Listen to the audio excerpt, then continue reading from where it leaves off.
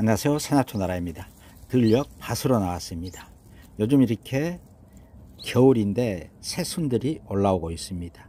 늦 가을에 씨앗이 발아한 것들이 이제 이렇게 새순이 올라오고 유심히 보면은 자줏빛도 띄고 방석 모양을 하고 있고 전체에 부드러운 털이 나 있습니다. 바로 꽃다지입니다. 이 꽃다지는 꽃이 필 때는 오른쪽 화면처럼 노랗게 꽃을 피우고 이 꽃다지는 두에 살이 풀이기 때문에 늦 가을에 씨앗이 발아한 것이 이렇게 겨울에 새순이 올라옵니다. 해서 겨울을 보내고 또 이른 봄철에도 새순이 올라옵니다.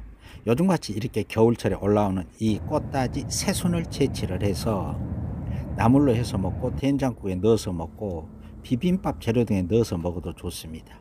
이 옆에는 야생 가시 이렇게 붉은 짙은 자주색을 하고 갓들이 있습니다. 또한 전초는 뿌리까지 채취해서 약재로 사용을 합니다.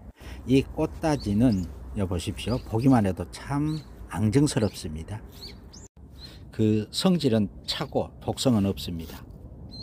나물로 해서 드실 때는 끓는 물에 살짝 데쳐서 이 매운맛과 약간 떠른 맛이 있기 때문에 찬물에 우려내서 나물로 해서 드시면 됩니다. 또한 생즙으로 또 녹즙으로 해서 드셔도 좋습니다.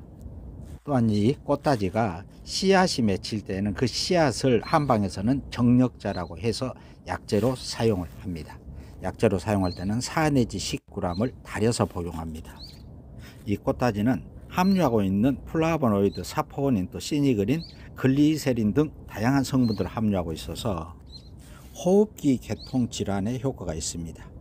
기침이나 가래, 또 천식, 또 기관지나 감기 예방에 좋고 당뇨, 다이어트, 혈액순환, 통증 완화, 관절염, 황달, 또 장 운동을 촉진시켜주고 변비 예방에도 좋은 꽃다지였습니다. 그럼 산업초 나라는 다음 영상으로 또 찾아뵙겠습니다.